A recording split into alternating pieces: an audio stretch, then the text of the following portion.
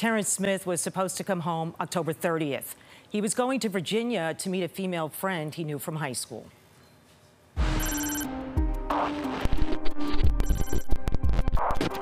To me, it just it doesn't make sense.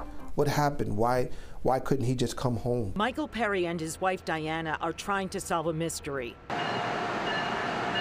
Perry's brother, Terrence Smith, took Amtrak from Penn Station in New York October 26th and traveled five hours to Fredericksburg, Virginia, to visit a longtime friend named Lola.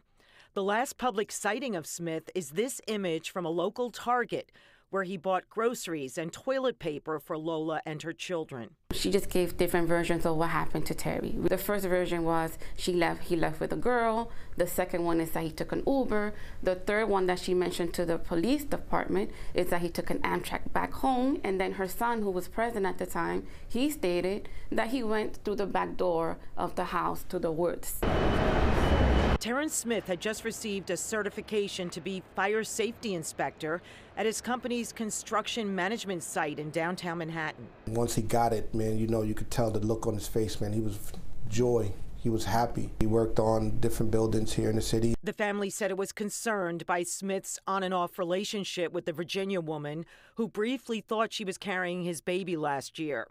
The woman recently sent Smith's older sister a photo of two women he was allegedly in contact with. She was saying, oh, they probably went to the Motel 6. Banking records indicate Smith's account was cleaned out since he arrived in Virginia with a balance of minus $289.27. So many Cash App um, transactions have been, there are like door dashes, you know, from different restaurants repeatedly. The Spotsylvania County Sheriff's Office is now investigating, and a TikTok influencer is demanding answers. This is a call to action.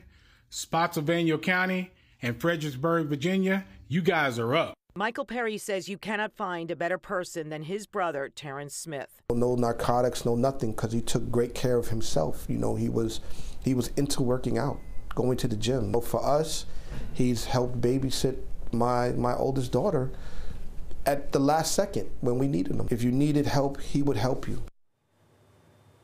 The family told us Terrence Smith has been living with his mother, who is visually impaired, in Queens. And because his mother's bank account is linked with Smith's, the family was able to track all the activity on his bank records since he disappeared. Corey and Arnie, this, this one is really disturbing. Yeah.